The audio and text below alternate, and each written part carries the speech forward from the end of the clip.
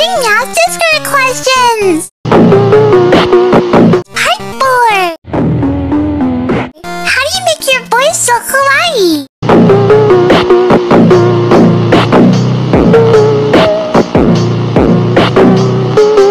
Huh?